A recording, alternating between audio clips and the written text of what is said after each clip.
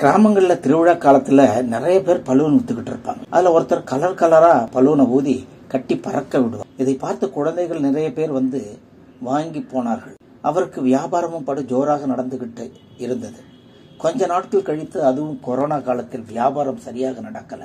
அந்த பலூன் விற்பவர் ரொம்ப கடும மன கஷ்டத்தோடும் கவலையாகவும் வறுமையாகவும் இருந்தார்.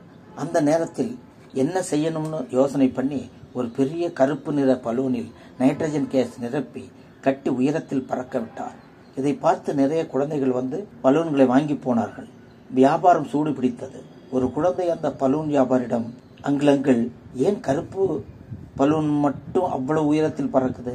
கருப்பு பலூன் தான் அப்படி பறக்குமான்னு கேட்டுச்சு அதற்கு பலூன் விற்பவர் அந்த குழந்தையின் எண்ணத்தை புரிந்து கொண்டு பொறுமையாக சொன்னார் இதை பார்ப்பா ஒரு பலூன் பறக்கிறது அந்த கலர்னால இல்லை.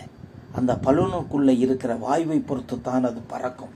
அந்த கருப்பு பலூனில் மற்ற பலூனில் உள்ள காற்று மாதிரி இல்லாமல் அந்த பலூனுக்குள் நைட்ரஜன் வாயு நிரப்பி இருப்பதால் அது உயரத்தில் பறக்கிறது என்று சொன்னார்.